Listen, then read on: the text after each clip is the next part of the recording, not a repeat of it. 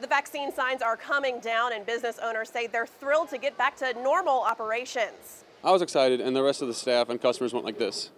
Yay! It's a good day for Conrad Chura, owner of Wakin' Bakin' in the French Quarter. For the first time in over two months, he doesn't have to check customers for their COVID vaccine card or negative PCR test when they come through the door. Y'all can follow me. It puts us back on the level with our surrounding area because you can go 15, 20 minutes away and you can be in Metairie. It, it really does push our sales away from us having the mandate in place and not having it in place in other areas right next to us. He says following the city's COVID mandates, like the proof of vaccine requirement, was challenging for his business. Again, every sale matters.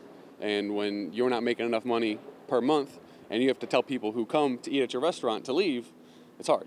On top of running a restaurant, uh, having to deal with anything extra is it's a lot. Right off busy Bourbon Street, others are excited to see the vaccine mandate lifted too. I'm just glad it's over. Ripped the sign right off the door. It was the first thing I did. I checked with the manager and was like, all right, you know what? This is coming down. Boom, ripped it off. And now it's just going back to checking to make sure everyone's 20. It's still spring break, and so obviously we're going to be checking the IDs, but no more vaccine mandate. It's fantastic. Visitors and locals alike support the move to lift the mandate. I think it's a great sign. I think that means we're kind of moving forward. I think it's good for everybody involved. People are going to make their own decisions either way. I think it's a fantastic idea. City leaders say while COVID numbers look good now, they're preparing for the likelihood of future surges. Uh, yeah, I don't even want to talk about that.